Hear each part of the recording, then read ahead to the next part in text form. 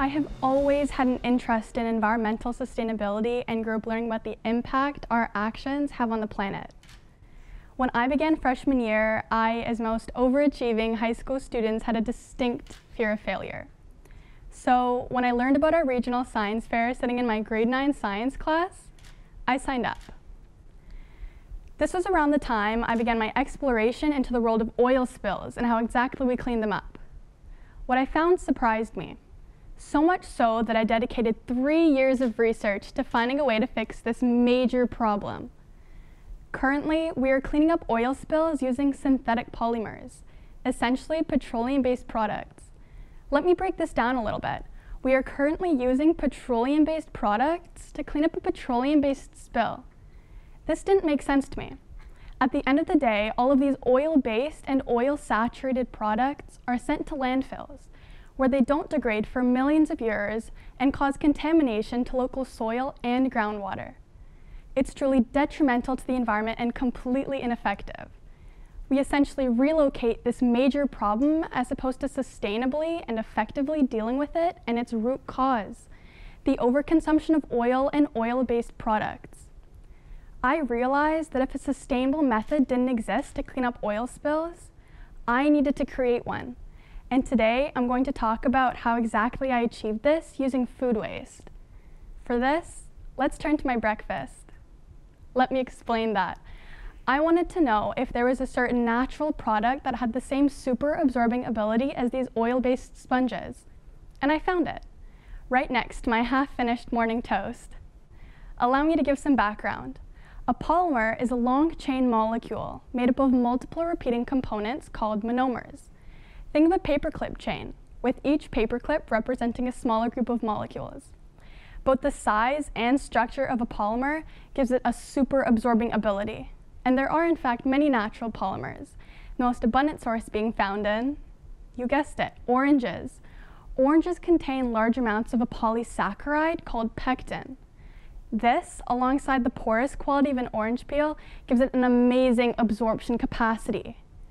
I asked myself, if this natural product has such amazing environmental implications, why aren't we harnessing them? Really, there isn't an answer.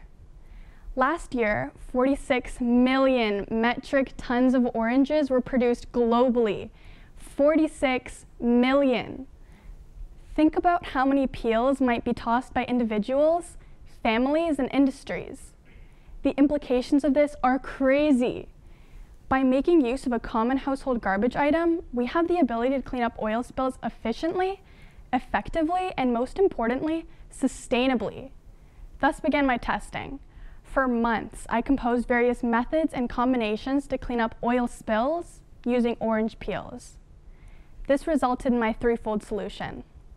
For local spills, fresh peels can easily be used to clean up the oil for later, for later removal and reuse. For spills larger in both surface area and quantity, I created a naturally sourced polymer powder, one that can be placed upon an oil spill, either on water or on roads, and have it congeal to form a sponge for easy removal. My latest creation is a naturally sourced polymer paper towel, one that can be placed upon an oil spill and has an oil absorption capacity 10 times that of the one currently on shelves. The key to these is that not only can the oil be removed for reuse from the absorbent, but they are sustainable. Formulated using natural products, this is a biodegradable and eco-friendly method to effectively clean up oil spills. So that's my story. How a self-conscious 14-year-old girl realized there was a major environmental issue and dedicated herself to fixing it. While I will continue on my journey in making the world more eco-friendly, I ask of you three things. The first of which is to pay attention to the products you purchase and bring into your homes. While these cheap plastics may look enticing, they are truly detrimental to the environment. The second is to consider alternative forms of transport. Not only is biking and walking beneficial for mental health, it's beneficial for the planet by making use of less petroleum by means of cars. My third and final message is to take a closer look at what you throw out. By making use of a common household garbage item, I'm on my way to sustainably remediating oil spills. What can you do with your garbage?